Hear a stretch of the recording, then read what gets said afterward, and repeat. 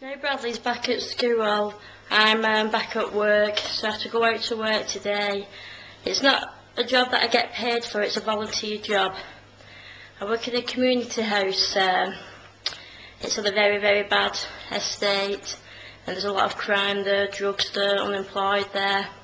And what we do is we help the kids, we do things for the kids that the parents don't do with them. We help with the drugs problems, alcohol problems, get the parents back onto courses to learn, get them on computer courses, college courses.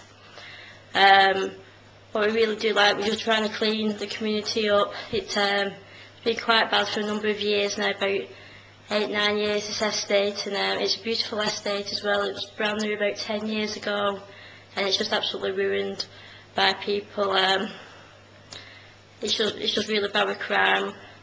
So I go there and I just volunteer and help and I'm doing courses myself, college courses on like social care and drug and abuse and alcohol and we also help the parents as well. We're trying to start up a group for the parents and single mums and they can come in and have a pampering session and just chill out and while we look after the kids and it's just it's good it's a good thing really it's one of my best friends she um, started community house up and she left job with absolutely no money. It's well she left a very good job should I say and started this up with no money. So it's run off funding and, and lots of charities and everything and it's an absolutely fantastic job what she's doing. So I, I love just going there and doing that so it could be nice to be back. I mean I've not been there for eight weeks with Bradley being off. So it's just going to be nice to be back. Yeah, I'm just walking to go and pick up Daniel from school, and I know for a fact he's going to say, "Where's the car? Where's the car, Dad?" And he'll probably be a bit teary-eyed because he absolutely hates walking. So what I'm going to have to do, I'm going to have to persuade him to um, call in a shop or whatever, you know, for some sweets, or go and get him some dinner on the way home, and then hopefully that'll stop him. And just, like I say, all you have to do with kids these days is just try and change the subject a little bit. Okay, I'll see you in a bit. I'm nearly there now.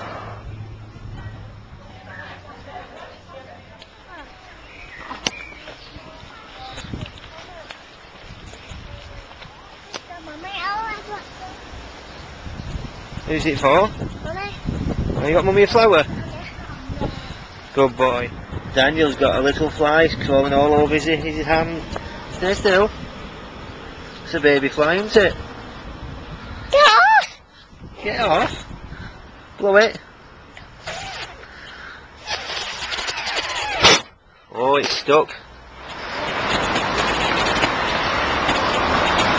This is the Green Cross code, ma'am. You pressed it. Good boy, where wait you now. On my hand. There we go. All safe across. cross. Yeah, that's a good boy, isn't it? You're not getting over that way, will we not? Daniel always races home. Ugh, I can't keep up, I'm too old. I'm catching you. I'm catching you. I'm going to get to the door first. Oh, you're always with me, you're too fast. It's Linda, my mum's just me to pick up a few bits to do with my dad a little party, it's his birthday and he's just got his test results and they're all clear, so that's great news. Look at these bargains in here.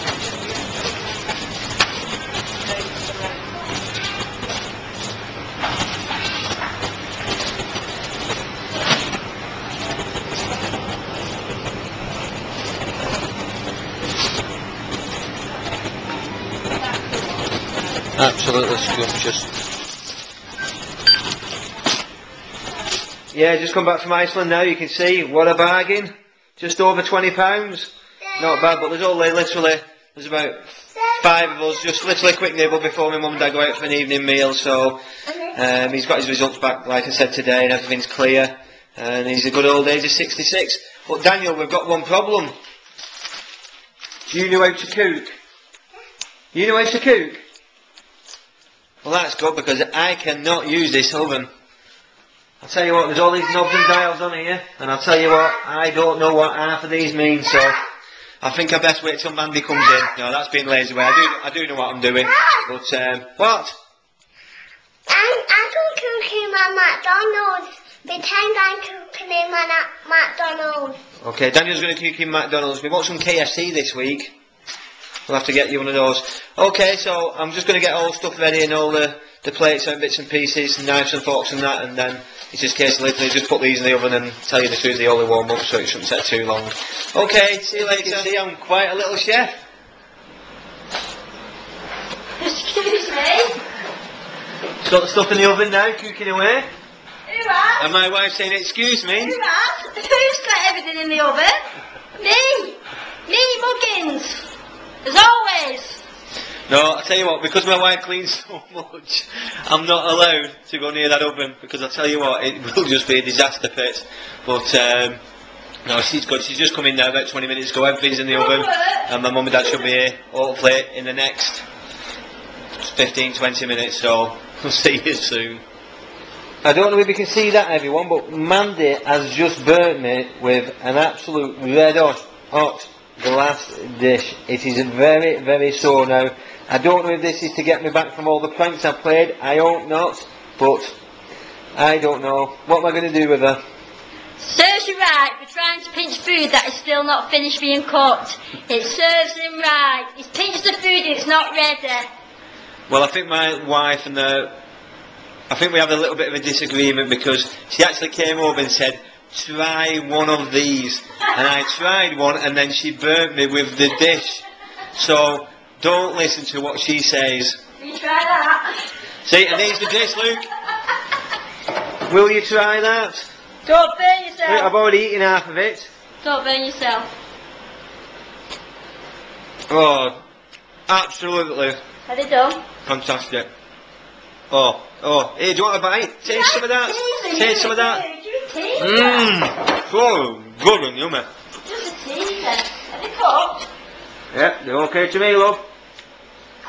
I don't want to burn myself. I'm going to push the tray over now. What? don't mind you, but get lost. Anyway, The- the- want to touch them then. she's scared of burning herself. yeah. Saying women put men through so much pain. Don't you agree, fellas? I do cook. I do cook. It's not McDonald's every day. I do cook. When she feels like it. I'll catch you later. Now, Mandy is a little bit of a fussy eater. She doesn't eat Chinese or Indian. But here, we've got some Indian onion bhajis. Now, Mandy has kindly said that she will try I an onion not. barge I am out. not. No. No, not trying it. Because surely they're not as nasty as Vegemite sandwiches what I had at that Aussie family's house. And I think that if Mandy eats one of those, that this will crack her into hopefully eating Indian and Chinese and Thai food. What do you think, people? Comment below, and hopefully we'll get her on the next video eating an onion bhaji. And I tell you what, I'll be so amazed if she does, because honestly now, it will make my day because I really miss going out for an Indian. And I'd love my wife to come along with me, but she just won't because she doesn't eat it. You won't. You won't. She's saying no, but let's see, let's see. Comment below if she used to try an onion bhaji. Yeah, we've just stuck um, the happy birthday banner on the front door, so they'll be here hopefully any second now. Always on the last minute, we've just got it. Hello, you both. Happy birthday, Mr. Jones. I hear you're all fit and well. really? Insulation tip. That must have took some time. Just listening to some of my dad's funny stories here, but you're missing them all, but... oh man, that's funny.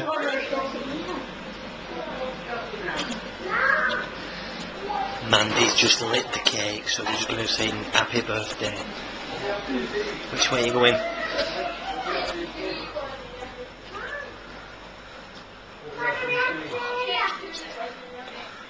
Happy birthday to you. Happy birthday to you. Happy birthday